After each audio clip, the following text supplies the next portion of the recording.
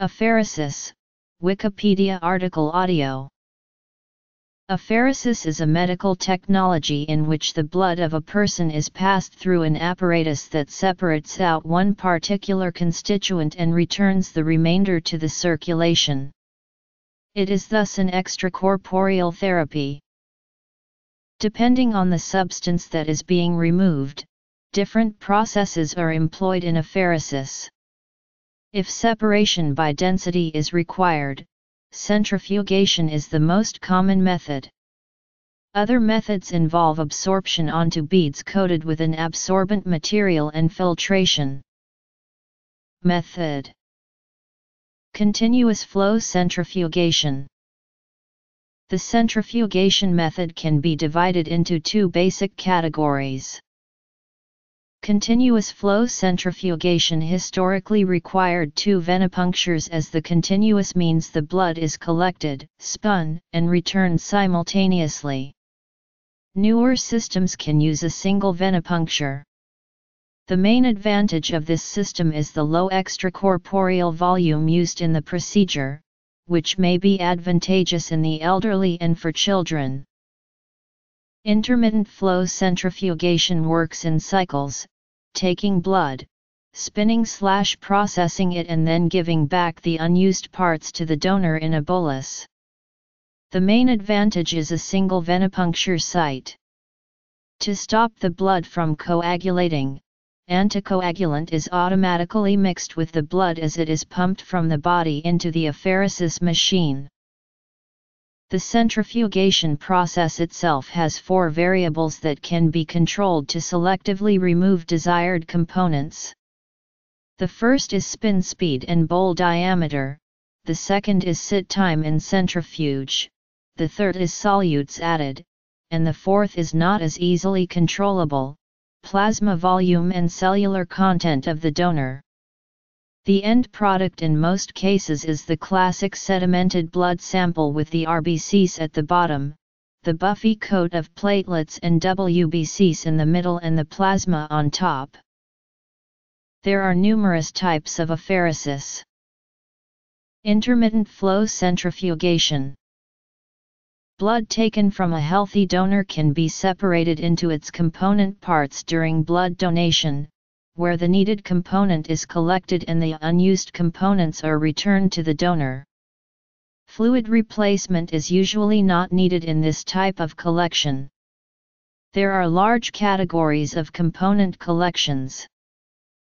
Two apheresis kit recalls were Centrifugation variables Apheresis uses plastics and tubing, which come into contact with the blood. The plastics are made of PVC in addition to additives such as a plasticizer, often DEHP.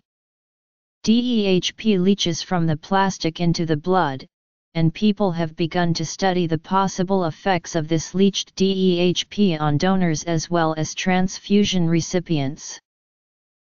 The various apheresis techniques may be used whenever the removed constituent is causing severe symptoms of disease. Generally, a apheresis has to be performed fairly often, and is an invasive process. It is therefore only employed if other means to control a particular disease have failed, or the symptoms are of such a nature that waiting for medication to become effective would cause suffering or risk of complications. In 2010, the American Society for Apheresis published the fifth special edition of evidence-based guidelines for the practice of apheresis medicine. These guidelines are based upon a systematic review of available scientific literature. Clinical utility for a given disease is denoted by assignment of an ASFA category. The quality and strength of evidence are denoted by standard grade recommendations. ASFA categories are defined as follows. Types When an apheresis system is used for therapy, the system is removing relatively small amounts of fluid. That fluid must be replaced to keep correct intravascular volume. The fluid replaced is different at different institutions. If a crystalloid like normal saline is used, the infusion amount should be triple what is removed as the 3 1 ratio of normal saline for plasma is needed to keep up oncotic pressure. Some institutions use normal serum albumin, but it is costly and can be difficult to find. Some advocate using fresh frozen plasma or a similar blood product, but there are dangers including citrate toxicity, ABO incompatibility, infection, and cellular antigens. Donation. Donor safety. Kit problems. Plasticizer exposure. Therapy. Plasmapheresis blood plasma Plasmapheresis is useful in collecting FFP of a particular ABO group. Commercial uses aside from FFP for this procedure include immunoglobulin products, plasma derivatives, and collection of rare WBC and RBC antibodies, erythrocytopheresis red blood cells. Erythrocytopheresis is the separation of erythrocytes from whole blood. It is most commonly accomplished using the method of centrifugal sedimentation. This process is used for red blood cell diseases such as sickle cell crises or severe malaria. The automated red blood cell collection procedure for donating erythrocytes is referred to as double reds or double red cell apheresis, platelet pheresis blood platelets.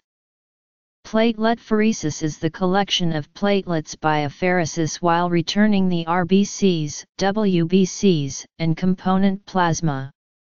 The yield is normally the equivalent of between 6 and 10 random platelet concentrates. Quality control demands the platelets from a apheresis be equal to or greater than 3.0 times 1011 in number and have a pH of equal to or greater than 6.2 in 90% of the products tested and must be used within 5 days.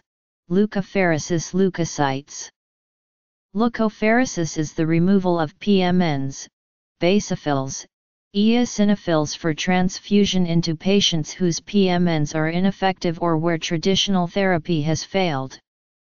There is limited data to suggest the benefit of granulocyte infusion. The complications of this procedure are the difficulty in collection and short shelf life. Since the buffy coat layer sits directly atop the RBC layer, HEES, a sedimenting agent, is employed to improve yield while minimizing RBC collection. Quality control demands the resultant concentrate be 1.0 times 1010 granulocytes in 75% of the units tested and that the product be irradiated to avoid graft versus host disease. Irradiation does not affect PMN function. Since there is usually a small amount of RBCs collected, ABO compatibility should be employed when feasible. Stem cell harvesting circulating bone marrow cells are harvested to use in bone marrow transplantation. Baxter Healthcare Corporation, in which pinhole leaks were observed at the 2 omega end of the umbilicus, causing a blood leak, Fenwal.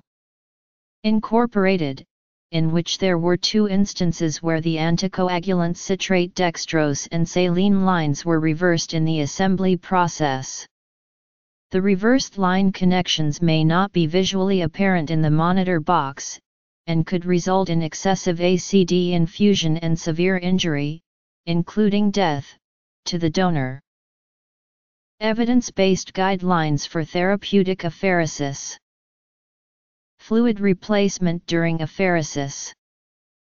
Current risk or preventive limit values for DEHP such as the RFD of the US EPA and the TDI of the European Union can be exceeded on the day of the platelet pheresis. Especially women in their reproductive age need to be protected from DEHP exposures exceeding the above mentioned preventive limit values.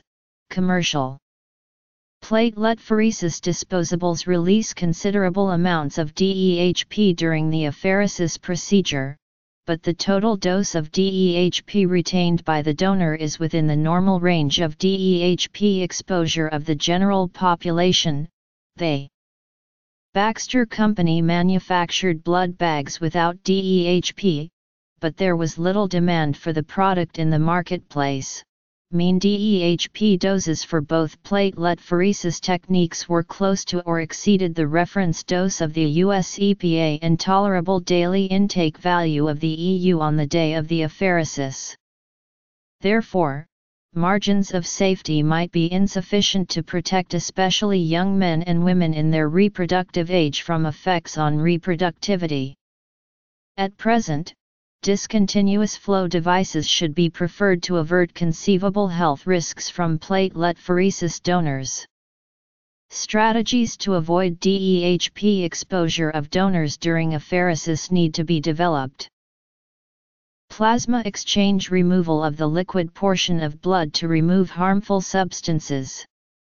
The plasma is replaced with a replacement solution, LDL apheresis removal of low-density lipoprotein in patients with familial hypercholesterolemia, photopheresis used to treat graft versus host disease, cutaneous T-cell lymphoma, and rejection in heart transplantation, immunoadsorption with staphylococcal protein A agarose column removal of allo and autoantibodies by directing plasma through protein A agarose columns. Protein A is a cell wall component produced by several strains of Staphylococcus aureus which binds to the Fc region of IgG, leukocytopheresis removal of malignant white blood cells in people with leukemia and very high white blood cell counts causing symptoms, erythrocytopheresis removal of erythrocytes in people with iron overload as a result of hereditary hemochromatosis or transfusional iron overload, thrombocytopheresis removal of platelets in people with symptoms from extreme Elevations in platelet count such as those with essential thrombocythemia or polycythemia vera. Category I for disorders where therapeutic apheresis is accepted as a first-line treatment, Category 2 for disorders where therapeutic apheresis is accepted as a second-line treatment, Category 3 for disorders where the optimal role of therapeutic apheresis is not clearly established and, Category 4 for disorders where therapeutic apheresis is considered ineffective or harmful.